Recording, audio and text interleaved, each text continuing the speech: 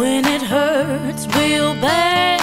Don't give up. When it hurts real bad.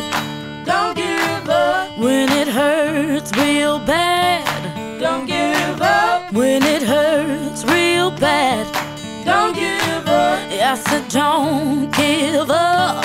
Don't give up. Don't give up. Don't give